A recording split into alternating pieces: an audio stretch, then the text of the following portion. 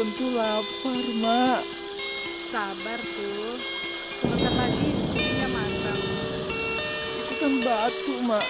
Bukan ubi. Eh, siapa bilang? Ini ubi.